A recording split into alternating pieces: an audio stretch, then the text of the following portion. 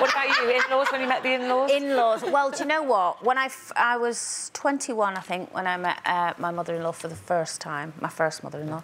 And, um, and it's always a bit daunting, isn't it? Uh, because you really want to impress the mum, you know. And um, More than anyone, anyway, I think. she was Yeah. lovely, lovely, lovely, and you know, really Irish and warm and lovely. And we're getting on great. And Shane had said, you know, uh, when we finished this job we were doing, we were doing summer season together. He said, I'm moving in with Coleen and all that. She went, oh my God, that's amazing. And you're so lovely. I'm so thrilled for him and all that. And then he went out and she went, he'll be home in six weeks. You just have to go. and I went, oh, yes, probably with my cooking. Um, but actually, I got on. But at first, that really, I thought, wow. Yeah. But do you know what? Even to this day, we get on so well. I love her to, I love her to that's really pieces. nice. I dread to ask about Gary. Do you know, I only learned this story the other day because when he, the first day he met my mum, we went for lunch at my mum's house and he was coming from one place and I was coming from another and I arrived a bit late.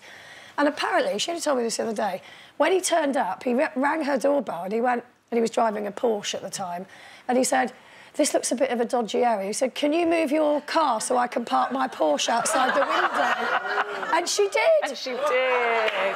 And she told me the other day, I, went, I can't believe. I said to you, I, him, I can't believe And she didn't did tell you that for years and We years. nearly had a row about it like 19 years later.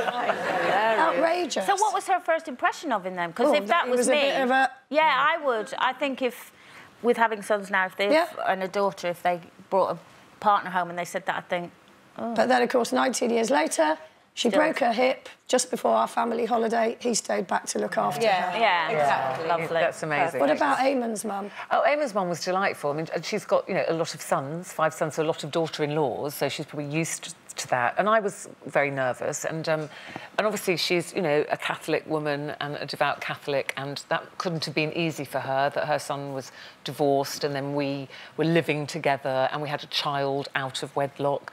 But she never showed it. Whatever she thought, she never showed it. She was always just welcoming. And I loved going to her house because there's always a pot of Irish stew. Always. They Always. always and you never you. get a cup of tea without food. Yeah. So it's always a cup of tea and a sandwich, cup of tea and a cake. Ah, I love and you know the how I love my food. Yeah. So no, she's delightful.